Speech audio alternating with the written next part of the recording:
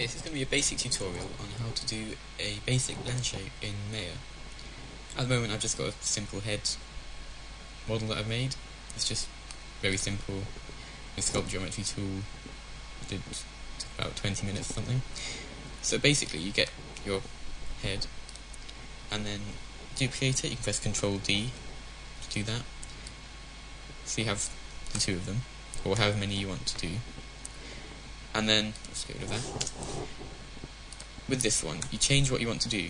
Now you can't change anything like you can't add polygons, but you can make simple changes to the mesh. So you can select parts of it. You can be able to move the points around, move the faces around. Just to make this really simple, I'm just going to use the sculpt geometry tool and just really quickly smooth out this whole mouth area just so it goes back to the normal face shape.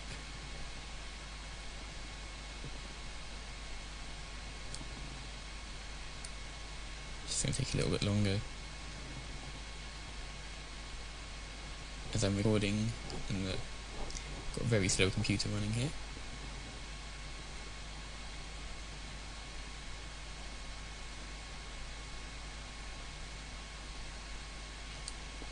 Okay, that'll do.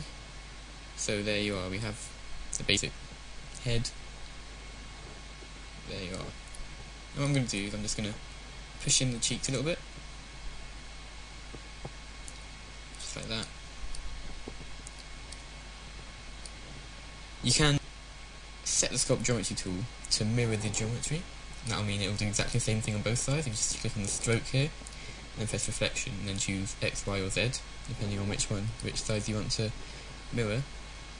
I'm not going to do that because I prefer having a bit of, have the different size, a little bit variation there.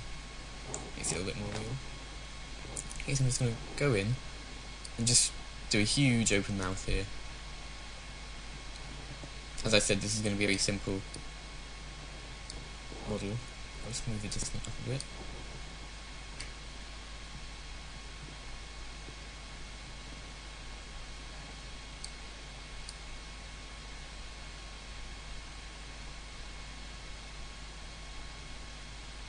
And as you can see, it's obviously not going to look very good, but it's just going for simplicity at the moment.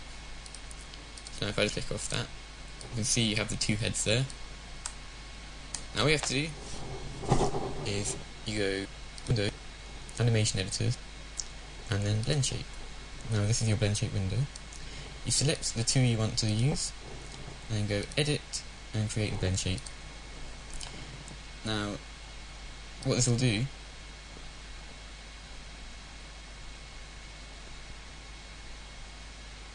I messed up.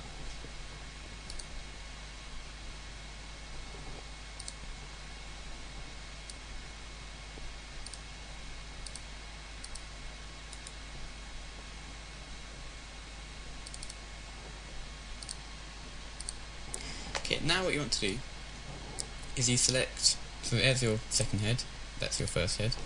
Basically with the first head, just go edit, and then delete by type, and just delete the history. This will make sure nothing bad will happen. I'll show you in a minute what will happen if you don't delete the history. And then, basically, just click on that one, then click the original. Just shift click it.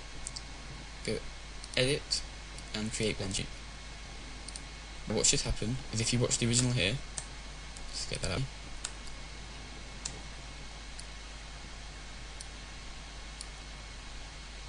And there you are, there you have it.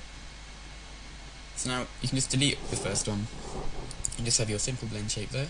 You can do this with as many as you want.